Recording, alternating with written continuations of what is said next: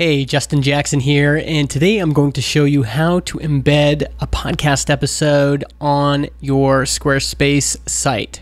So here is Squarespace, and uh, what I'm going to do is head over to Transistor. This is where the podcast is hosted, and I'm going to go to Episodes, and this is the episode I want to embed. So I'm going to click Share. Here is the embeddable player this is what it will look like when it's embedded. So I'm going to copy that to the clipboard.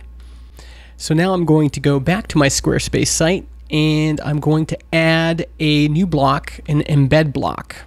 And here's the embed pop-up. I'm going to click here so I can embed the code. Here's the, this is what I copied over from Transistor, set, and you can see it's now inside of my Squarespace site. I can move it to wherever I'd like on the page. And if I preview this now, here's the sample podcast episode, here's the content, and I can play the episode right here in place. So that's how you embed a podcast episode in Squarespace.